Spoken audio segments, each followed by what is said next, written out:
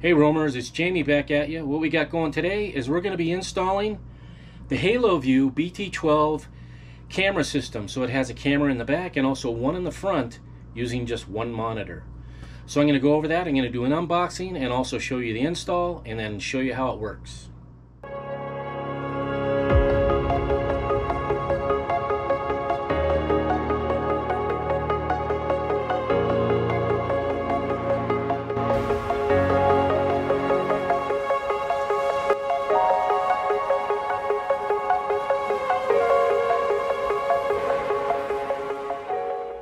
I'm going to do now is I'm going to show you the system that we're currently using and show you how this new BT12 is going to be a huge upgrade. So these are the systems that we're currently using. We're using this backup camera and then we're also using this dash cam camera right here. So they're two separate systems um, and two separate uh, video cards. So the cool thing about the BT12 is it's all in one system.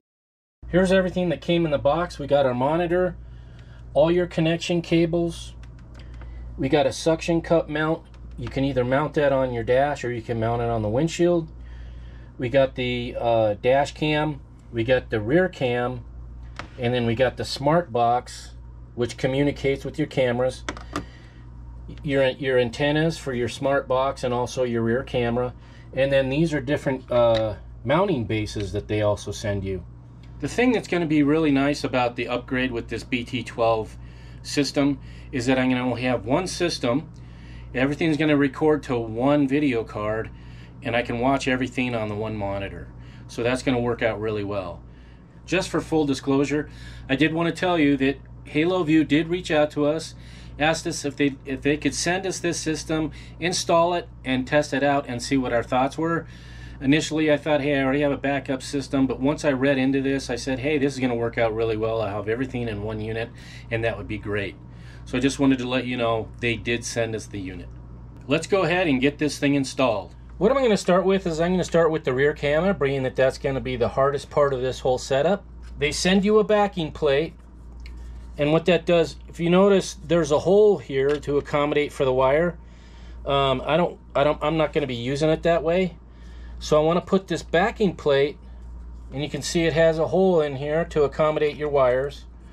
So I'm just going to put that on there, and it slides in like so, and it fills up that hole that we had there. So I'm just going to screw that back on there, and then I'm going to put my rubber, they include a rubber piece here that goes on the back for a water, uh, watertight seal. So I'm going to put that on as well. So first I'm going to screw this backing plate on there.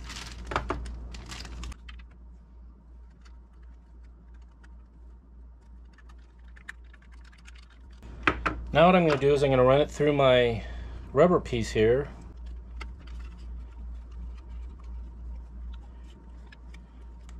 And that just sits on there like that. So now what I need to do is I need to go remove my old camera and then um, wire this thing up. The other thing that they include is this wire piece here. So it has a connector like this on the one end and this on the other and it just slides in like this. You can see there's like a little slot in there. So you line that up and you just twist it and lock it in place. And then uh, they have the wiring. All I'm going to be using is the red and the black wire. I'm not going to be using the green that's basically a trigger wire. A lot of motorhomes, when you put them in reverse, it automatically kicks in a backup camera, and you can set this up to work that way as well. So if you were, say, threw it in reverse, you were backing into a spot, it would automatically kick the camera on. Being that I'm going to be having it on all the time, I don't really need that, so I'm not going to be utilizing that. What I've done is I've removed my old camera and I've cleaned up the space all here to accommodate the new camera and I have my wires. I have my, it's a red wire and a white wire. On the HaloView, it's red and black. So the red's gonna go to the red, black's gonna go to the white. And like I said, we're not using the green wire because that's just a trigger wire for if you just wanted to use it as a backup camera and, and not on all the time. So I'm gonna wire up my red. So I'm gonna put a wire nut on it and then I'm gonna tape it so that the wire nut doesn't back off. Okay, that's nice and tight. So I'm to take some electrical tape and I'm going to tape that off. And you want to put it on the wire and also on the wire nut. That way it won't pull loose.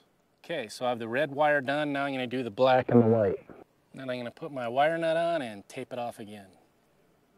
Okay, so the red and the black are all wired up. So there's green wire down here where this connects into where the camera wire is. I don't want that touching anything being that there's power going through it now. I don't want it touching anything and causing a, a short. So I'm going to tape it off to this black wire here just to be safe that we don't have anything shorting out. And we have this connector and it basically goes into this connector on the on the uh, on the camera here. You slide it in and you twist and it locks itself in. What I'm doing now is I'm just taking some tape and putting it over both of my connections so it's kind of uh, a little bit more waterproof. So I'm just running some electrical tape over that and then I'm going to push that back inside the hole in uh, the RV here. The other thing that I'm going to do is where this connection goes. I'm going to put some tape on there. Uh, because it's going to be inside here, I don't want it coming apart and causing any issues, so I'm just going to put some tape there so it doesn't come apart.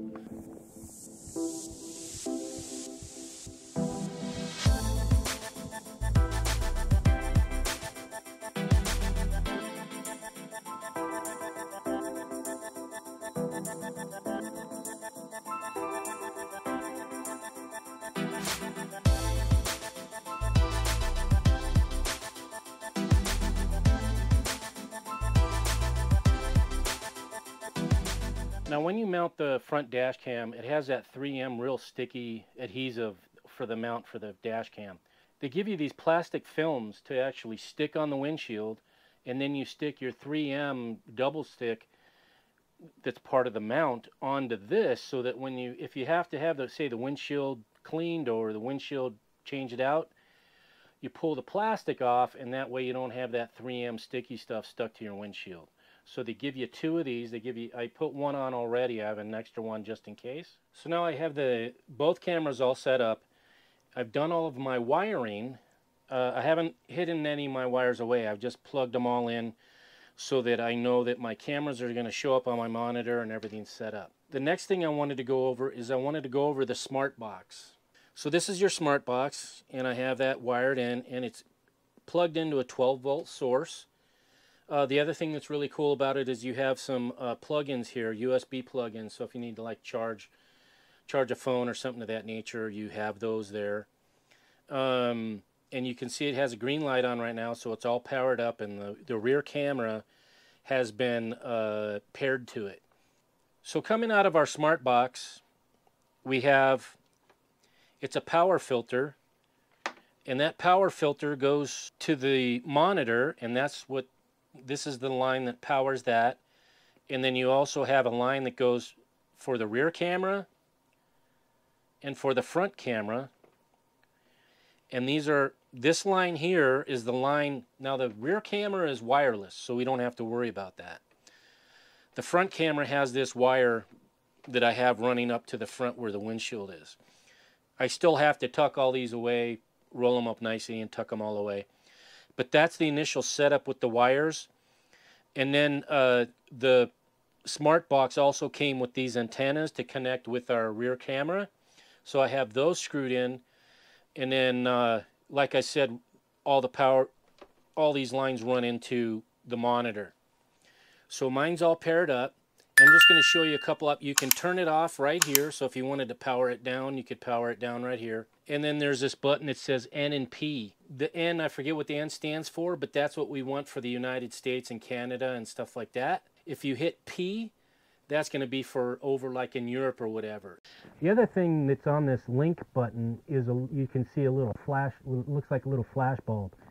That's actually an LED light that's on the back camera. So if at night, say you're backing up or something and you would need a bright light, you could go ahead and hit that button and it'll have a light that'll it'll be really bright for you and you'll be able to back up.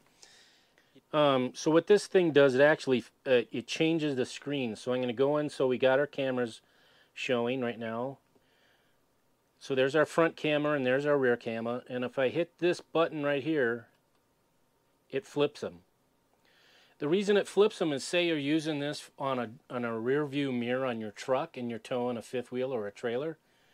You can flip that so that it, it will be in a mode where because because you have a you have a mount that you can mount it on the back of your rear view mirror, you can adjust that so if you need to flip it, you can flip it with that button. So now what I'm going to do is I'm going to go back home and I'm going to talk about a few of these features. So the drive recording is basically your cameras. And when you hit that, it automatically records. It's recording everything in the front camera and also the rear camera. The system has CarPlay. That's for iPhones. And then it also has a version for Android. If you want to hook that up, you want to go into the Bluetooth section here and you want to see what the device name is, what the equipment name is. So we go back home, we go into CarPlay. So it, now it shows it on my phone, shows it right here. I'm going to hit that and it's going to ask me if I want to connect that. And then you have that same version, like I said, for Android phones. And then replay, if you, it's going to show you all of your videos over here. It also records the audio, anything that's going on inside uh, the vehicle as you're driving. So it'll record. You can shut that off if you like, but it'll also record what's going on on the inside of the cabinet as you're driving down the road. So another thing that I forgot to mention on the touch screen here is uh, when you touch it, you can see where you can uh, hit stop recording, uh, you could take a picture if you want because there's a camera. I I had voice recording on, so it just took a picture for me. Okay. I did it again. And then there's a lock, so you can actually lock it if you want to. And then there's this circular with two arrows, which looks like two one-sided arrows. And if you hit that button, you're going to get two screens you hit it again, you'll get the front screen. Hit it again, you'll get only the rear screen. And you hit it again, you're back to the two screens. And then there's a house on there, and the house is the home button. Take you back home. And this is your home page. But when you're driving, you're always going to want to be in drive driving recording. So that's going to that's going to be recording as you're going down the road, uh, and that's the main reason we wanted this whole system. So that's how we set it all up. Now what we're going to do is we're going to take it on the road and see how this thing works out.